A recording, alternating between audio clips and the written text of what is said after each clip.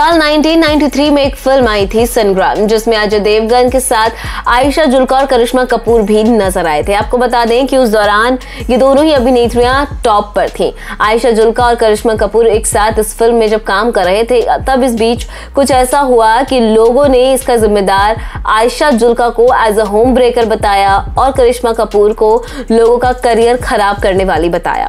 दरअसल खबरें थी कि उस वक्त जिस फ़िल्म में आयशा करिश्मा और अजय देवगन काम कर रहे हैं। उस फ़िल्म के डायरेक्टर से आयशा जुल्का का अफेयर शुरू हो चुका है।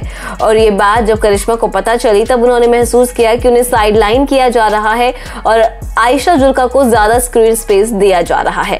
बता दें कि ये बात करिश्मा से बर्दाश्त नहीं हुई और उन्होंने फ़िल्म के डायरेक्टर लॉरेंस डिसूजा की पत्नी से इस बात की चुगली कर दी। हालाँकि जब लॉरेंस डिसूजा की पत्नी ने आयशा जुल्का और लॉरेंस को एक साथ रंगे हाथों पकड़ा, तब उन्होंने आयशा जुल्का को दंदना कर चार पाँच थप्पड़ जड़ दिए थे।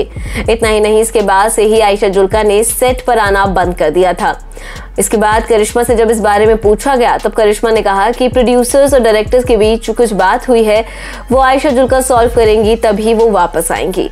हालाँकि इस पर यह भी कहा गया कि करिश्मा कपूर ने ही आयशा जुल्का और लॉरेंस डिसूजा के अफेयर की खबर लॉरेंस की पत्नी को दी है। तब करिश्मा ने इस पर कहा कि मैंने ऐसा कुछ भी नहीं कहा। लॉरेंस की पत्नी ने मुझसे मेरी गाड़ी मांगी थी और मैंने सिर्फ़ उन्हें अपनी गाड़ी दी थी।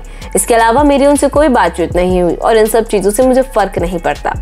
इतना ही नहीं, इस इंटरव्यू के दौरान आयशा जुल्का और करिश्मा कपूर ने आपस में फ़ोटोज़ क्लिक नहीं करवाई, जिसके बाद लोगों ने इस बात का काफ़ी बड़ा इश्यू बनाया था। तब करिश्मा कपूर ने कहा था कि ये मेरा निजी मामला है कि मैं फ़ोटोज़ क्लिक करवाऊं या ना करवाऊं। वेल दोस्त, आपको बता दें कि अपने वक्त की जानी मानी अभिनेत्री करिश्मा कपूर ने यूँ तो कई सारी कंट्रोवर्सीज क्रिएट की हैं, लेकिन फ़िल्म संग्राम के दौरान उनके और आयशा जुल्का के बीच हुए इस झगड़े के किस्से को आज भी लोग सुलझाना चाहते हैं और जानना चाहते हैं कि आखिर ऐसा क्या हुआ था कि उसके बाद से ही आयशा जुल्का फ़िल्मों में कम नज़र आई हैं। वेल आप हमें कमेंट करके ज़रूर बताएँ कि इस बड़ी खबर के बारे में जानकर आपको कैसा लगा और इस पर आपका क्या कहना है।